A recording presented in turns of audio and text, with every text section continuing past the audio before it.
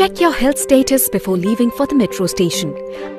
And if you are feeling unwell, do not travel. Always wear mask before stepping out from the house and follow the social distancing norms while entering the metro station. It is advised to carry minimum luggage during travel. Passengers at the station will be facilitated entry after thermal screening and hand sanitization.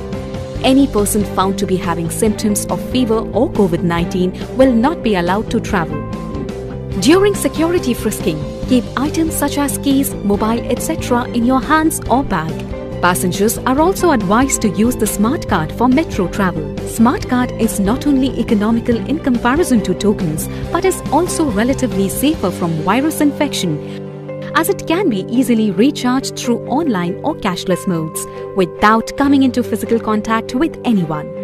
Passengers must follow social distancing norms while in metro premises. For ease of the passengers, markers have been put up at various places to ensure the norms of social distancing.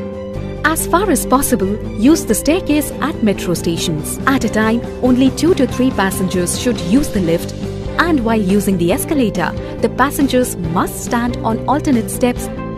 When the train arrives on the platform, let the passengers deboard first and only then board the train. To enable social distancing, trains will halt a little longer at the stations.